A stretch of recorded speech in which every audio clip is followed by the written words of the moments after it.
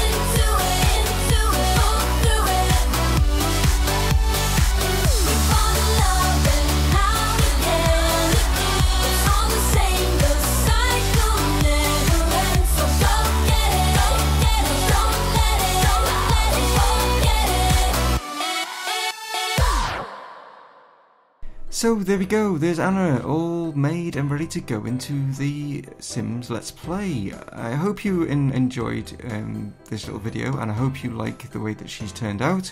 Um, there is obviously the photo of what I've got to work with and I hope like that she likes it, which is more importantly, you know, because obviously when you're doing someone, you're hoping that it, it gets like, you know, to how they want themselves to look in the game. So this is what I've done and I hope like she's happy with it. But anyway guys, I'm going to shoot off. Um, Um, it's been awesome again chatting with you. Massive hugs from me, massive hugs from Mr. Pillow. Please go ahead, like, share, and subscribe, and I will catch you on the next video. Take it easy, guys. This is Dave from Mumongu Gaming signing off. Cheers!